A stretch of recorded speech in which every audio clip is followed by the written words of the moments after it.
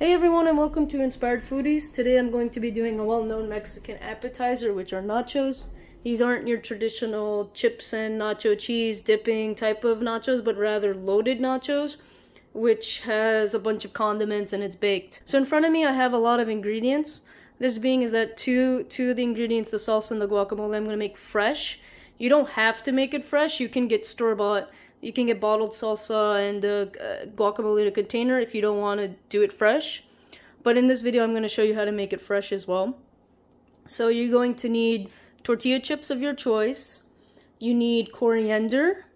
You need green onions, tomatoes, avocado, jalapenos, some garlic cloves, an onion, it can be white or red onion.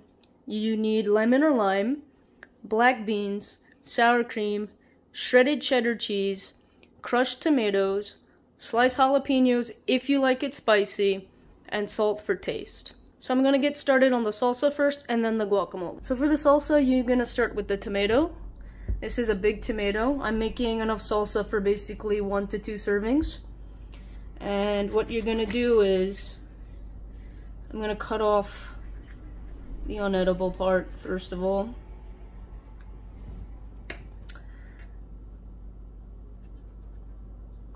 With these tomatoes, because you're making salsa, you don't want it to be too watery, so you're gonna drain out the water portion inside, and you're just gonna chop it nicely. So I'm gonna drain this right now in the sink. So now, so you can see that I've already took out all the watery seeds from both of the tomatoes you want to do that because, like I said, you don't want your um, salsa to be too watery because that adds so much liquid to it. So we're just going to cut these into chunks real quick. You don't have to make them too fine because you're actually going to be blending them together in a in a fruit processor or just a regular blender, doesn't matter. See, these chunks are fine, big ones.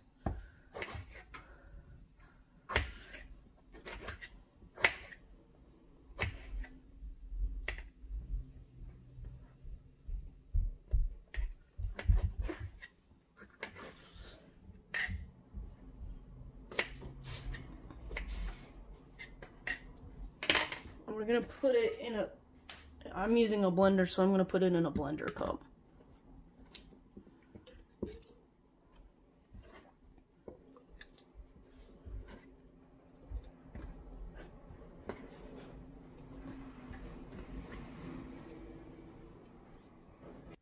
Next thing I'm gonna do is I'm gonna take a jalapeno and I'm going to um, take out the seeds in the jalapeno. Okay, so for that, take off the stem. You just have to take out. You can cut it in half actually, and it'll be easier to take out the seeds this way.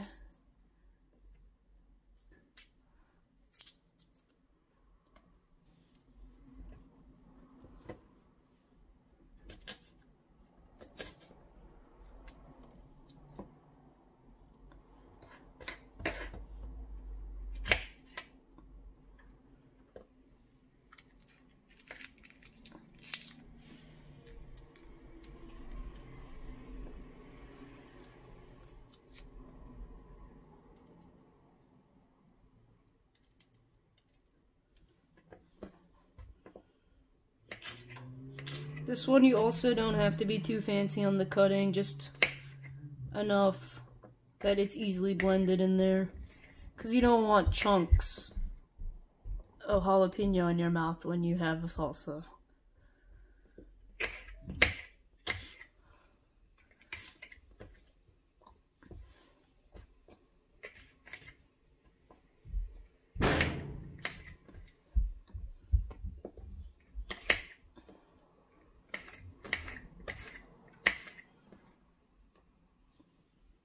Next, you're gonna want to add one garlic clove. I'm sorry, you're gonna add two garlic cloves because it's salsa and there's a lot of tomato. You want to have a little bit of garlic flavor.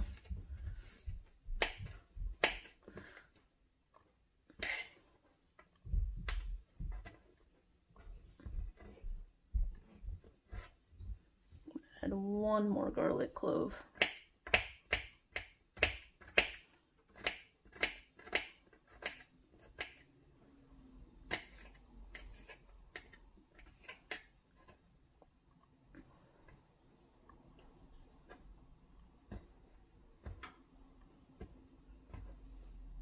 Next, I'm going to take half an onion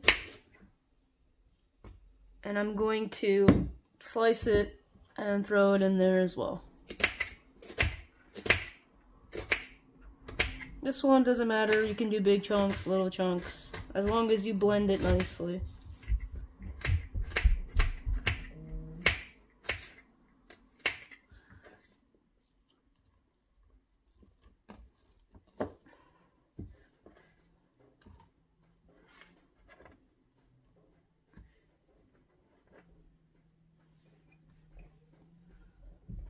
the next thing I'm gonna do is I'm gonna take a lime. I'm gonna take, I'm sorry, I'm gonna take a lemon. I'm gonna take only half a lemon. And I'm gonna squeeze it in there.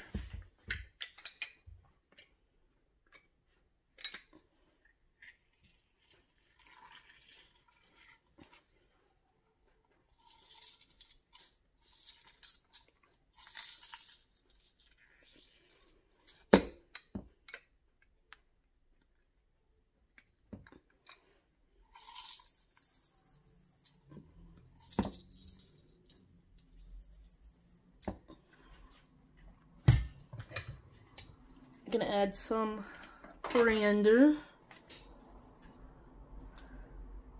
as well. Just gonna give it a quick rough chop. Doesn't need to be too fine.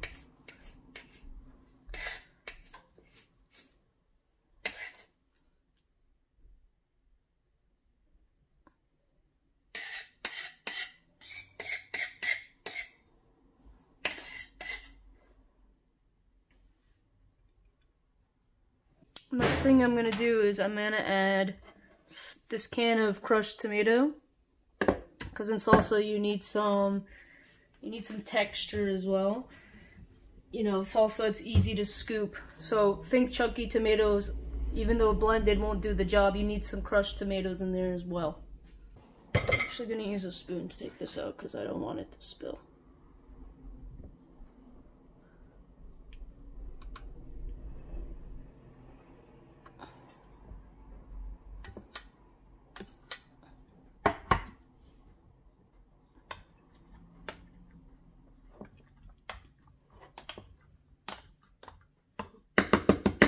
depending on how well this blends, we might I might add a little bit more tomato sauce. But first I'm gonna add the salt and see how well this blends. So last thing is add some salt because you don't want bland salsa. And we're just gonna go ahead and blend this.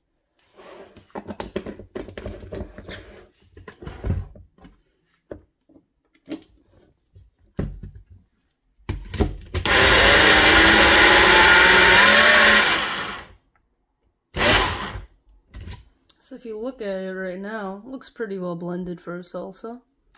It's very thick, easy to scoop up. So we're good to go. I'm just going to give it a taste test for the salt. Because you want to make sure you have enough salt.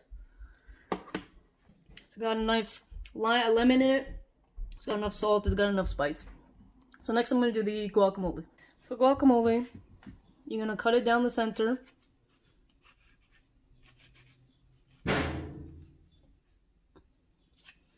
You know, twist it open and see a beautiful green avocado. Two halves. I'm sorry, I said you're gonna cut down the guacamole down center, I meant avocado, but you're gonna see perfect avocado like this. So what I'm gonna do now is gonna have a bowl ready. I'm gonna scoop out the avocado. This is not the perfect knife to use it to grab it out actually, unfortunately, so I'm gonna use a spoon.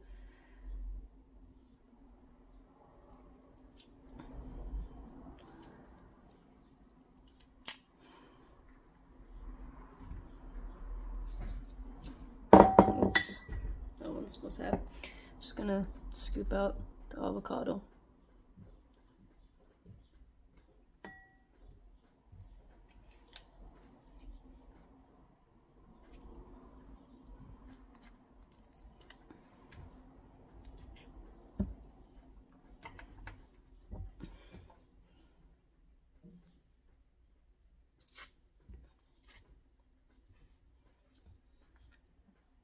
That's one portion of it.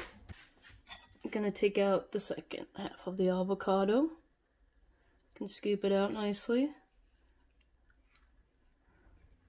Look at that, it came out beautifully.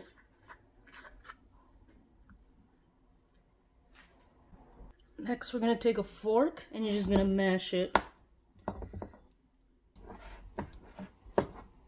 It would probably be easier to use a big salad fork instead of a small regular fork. But as you can see, the mashing is going pretty well. So I pretty much fast forwarded ahead uh, five minutes. I finally got it mashed up. It's looking good. The next thing I'm gonna do is I'm gonna finely chop some onions actually this time because you also have you also put onions in your guacamole. But this time it's more of a finely chop.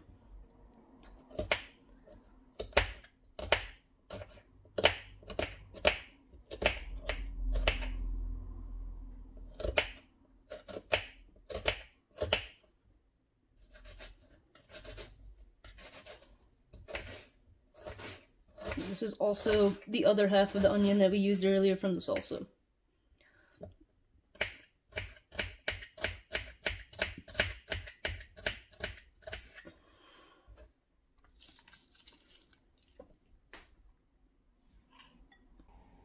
We're also going to add a whole jalapeno to this, and you're going to do the same thing like you did with the salsa. You're going to remove the seeds from the center because you don't need that. I'm just gonna give it a little bit more of a finer chop compared to the salsa. Because in the salsa it was blended by the blades. Here it's you're going to do everything by hand.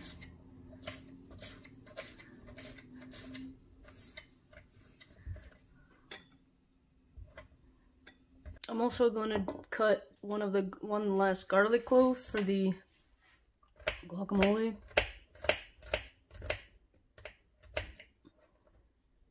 This should be a little bit more finer as well. Put it in there.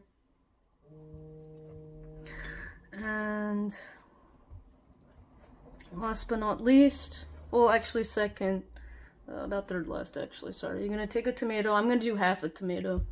And just like the salsa, you're gonna drain out the water and the seeds because you don't want it to be too watery. See that? We're just gonna chop it nicely.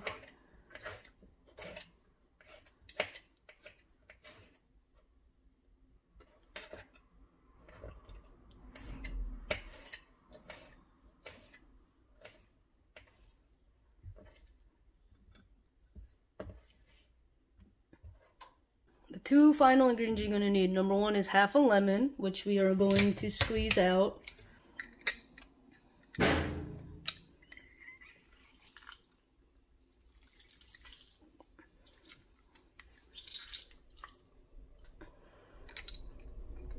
It's a lot of juice still up here.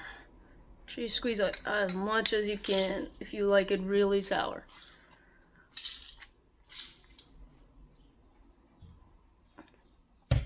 Last but not least, the salt is a must. One spoon should be plentiful. You can add a little bit more because with guacamole, uh, with avocados, they're very bland, so they usually require more salt for taste. Just gonna mix this real quick.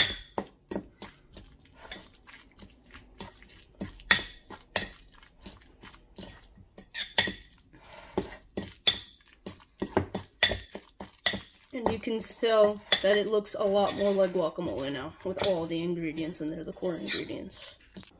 So now for the nachos, we're gonna bake it. So in order to bake it, you're gonna need a pan sheet. I'm gonna be using a brownie pan because that's what I have right now. Uh, parchment paper, you wanna line it with parchment paper so that nothing sticks to the pan. It's okay if it's not like it's not like aluminum foil. It's easy to wrap around, but it's okay as long as you have it lined up. You're fine. So the this is where we're gonna put all our ingredients together. So the first thing we're gonna do is we're gonna put the chips. So You're gonna lay out the chips. You can you can space them out, but don't space them out too much because what happens next is that you're gonna layer the cheese, the salsa, the beans, and you don't want it to fall through the holes or the cracks of the chips. So the chips are being are the base because it'll hold everything together and it'll come out so good. Add a few more. These are organic tortilla chips. You can use corn chips, tortilla chips, you can use regular white flour, doesn't matter. Just make sure the tortilla chips you're using aren't thin and light because if it is, it'll be very hard to lift up and it'll break easily after you're done baking them. Add a few more because my mother and I will be eating this. And the next thing you're gonna do is you're gonna layer it with the cheddar cheese, the shredded cheddar cheese. This will hold the chips together as well as all the other good stuff in it.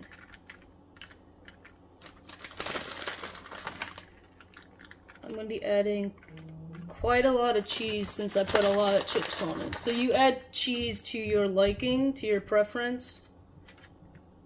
But make sure you add enough cheese so that it can act as a base. The next thing I'm going to do is I'm going to add the black beans. These black beans, it's about half a can. Just going to spread them over nicely.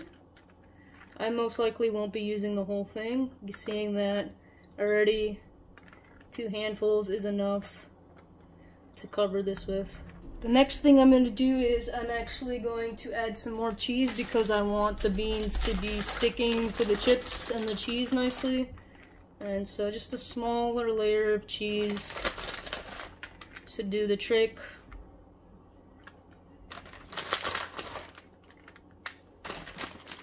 For the next step, gonna be adding the salsa.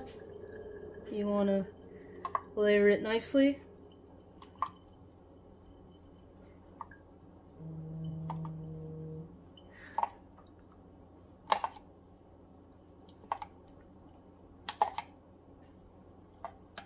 Look at that. So much. So nice. Perfect. The next ingredient you're going to add is actually going to be the green onions. So I didn't do this earlier.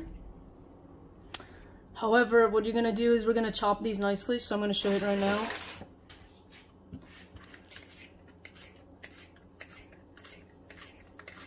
Finely chop them. Because you don't really want big chunks of onion. Unless you really love onion and you want bigger chunks, that's understandable. But finely chop them because it looks really good once they're out. And as you can see, I'm just going to scatter them all over the salsa.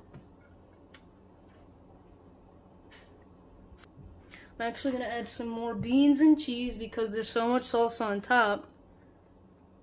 Nothing wrong with that, it's just that I want some more condiments. So we have all these nice layers.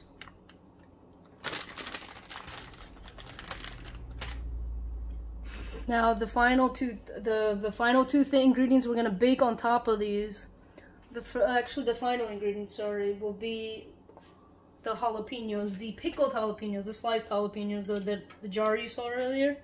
It's gonna be these. Now my mother and I love jalapenos with our nachos. I'm gonna put a ton. I mean, I'm gonna put a ton. Uh, they're not spicy because they're basically pickled, so they're more sour but jalapenos add so much flavor to nachos. I just can't resist not having any jalapeno. You can tell when I'm serious when I say we love jalapenos. And now we're gonna toss this in the oven. The oven's at 400 degrees. You're gonna bake this for 10 minutes or until the cheese is nice and melted. So I'm gonna go ahead and put it in. All right, we are back. It's been 10 minutes. I just took it out of the oven. My nachos are ready to eat. The cheese is melted. The tortilla chips are nice and brown a bit. So we're gonna, I'm just gonna plate this and we're gonna add the final touches to make this the ultimate vegetarian nachos ever. I'm sorry for the view, it's a bit, it's a bit narrow, but I'm just grab the plate. I'm gonna pull this up from the pan and I'm going to try to slide this off. Finally got it onto a plate. I just basically took a spatula, scooped it under, and slid it over with the parchment paper so it slid off easily. So now the final touches, you want to add or fresh homemade guacamole. I'm gonna add it right here. A nice giant dollop. You can't have you can't have nachos without guacamole. Like it's a must. Come on. As well as sour cream. Nice dollop. Right there. And you can serve this with your favorite hot sauce as well. We like to use Taco Bell fire sauce. And for one more final touch, I'm adding some more coriander because you can't go wrong with coriander. As well as some more green onions, nicely chopped. Adds more color to the plate. Tastes really good. And then you have it. Vegetarian nachos. Thank you for watching this video. I hope you enjoyed it. If you did, please give it a thumbs up. Don't forget to subscribe to the channel. You can click on the subscribe button on the bottom right of the video. If you have any comments or suggestions, please leave them down below. If you have any specific recipes you want to see that we make, let us know in the comments. We definitely are interested in doing that. You can follow my mother on her other social media platforms such as Facebook, Snapchat, Twitter, and Instagram. You can find the links for those in the video description. Make sure to follow us on those because we definitely do post updates about new videos that come out. Thank you again for watching. See you next time, foodies. My mother and I are going to go devour this plate of nachos.